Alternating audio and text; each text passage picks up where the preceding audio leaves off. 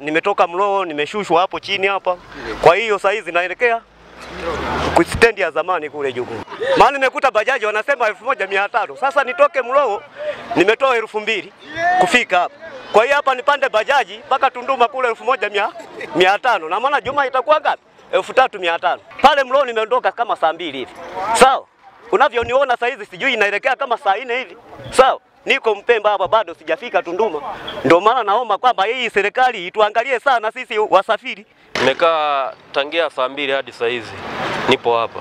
Bajaji wanasema wanaishia Sogea, wengine wanasema tunaishia Kilimanjaro. Mi nataka niende stendi ya zamani, na ninapo hapo sijafika mahali napo ambapo nitakiwa ni, nifike.